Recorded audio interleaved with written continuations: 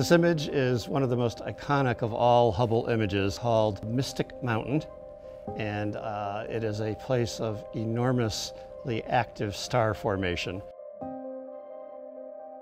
This entire pillar is about three light years in duration. That means it's so long that it takes light traveling at 186,000 miles per second takes it three years to go from bottom to top. And the entire area is filled with this really condensed uh, collection of dust and gas that's created this stellar nursery.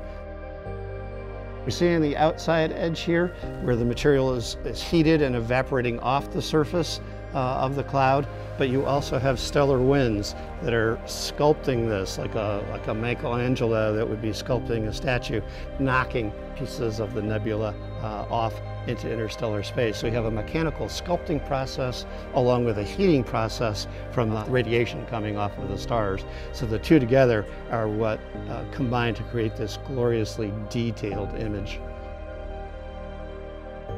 You see these jets coming out of two sides of that top pillar and down here, again, those are signatures of stars actually forming.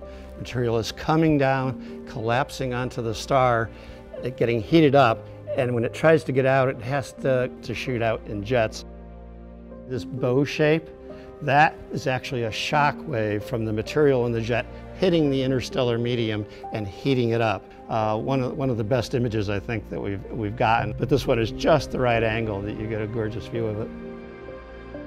It's, it's become an iconic image, I think, for several reasons. Uh, one is that it has such incredible detail in there, but also because it holds a fascination as being a place where we can actually see stellar systems forming before our eyes. It's also famous, I think, because of its sheer beauty. I mean, there's a lot of art in, in, Hubble images. A, large fraction of the value of Hubble is not just to give us the science uh, data that we need, but it's to appreciate the beauty of the universe.